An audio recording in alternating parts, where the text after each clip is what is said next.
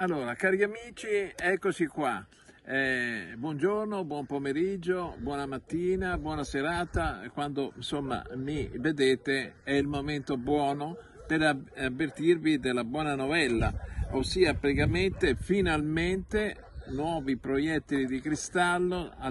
si aggiungono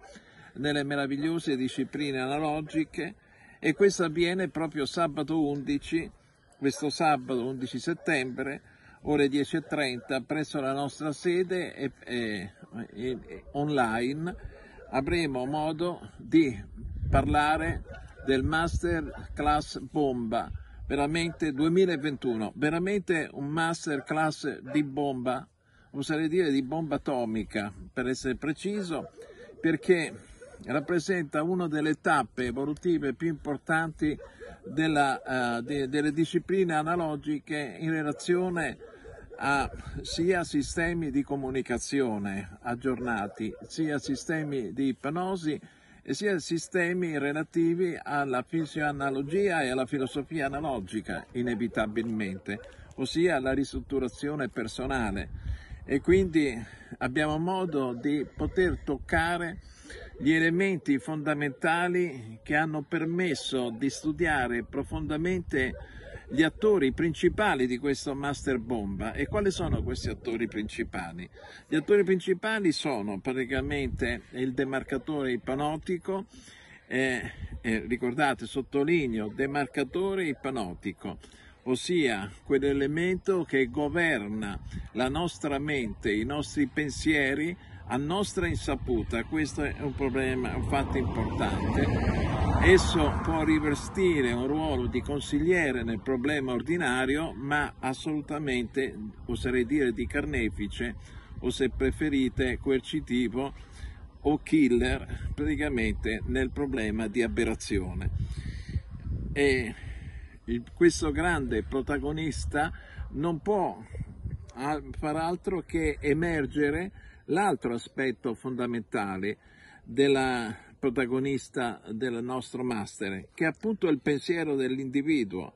questo pensiero che cerca di difendersi dalla coazione a ripetere, ossia dalla paura che si possono di nuovo verificare gli stesse sofferenze, gli stessi dolori che noi abbiamo vissuto nel passato. E quindi praticamente vorremmo definire che il demarcatore è un, punto, un ponte di collegamento dentro la nostra mente tra passato e futuro. Ma siamo arrivati a queste nuove definizioni in quanto praticamente lo studio approfondito della struttura bipolare dell'individuo, eh, diciamo così, che ha nel suo posto il monopolare, ha reso possibile l'approfondimento eh, di queste conoscenze nell'uomo e badate bene, non solo nelle patologie, ma anche nei modelli comportamentali. Ecco che qui capirete profondamente, perché ho detto una rivoluzione nel campo della comunicazione, dell'ipnosi, oltre che della ristrutturazione personale e quindi dell'aiuto che noi possiamo come analogisti offrire alle persone che hanno intenzione di poter toccare la dimensione olistica, ossia dare un rafforzo a quella scientifica allopatica per poter eh, arrivare alla soluzione dei nostri problemi.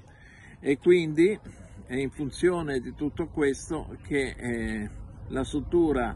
vi do solo una chicca iniziale così, la struttura monopolare teme il giudizio eh, perché ritiene che la sua crisi sia espressamente dovuta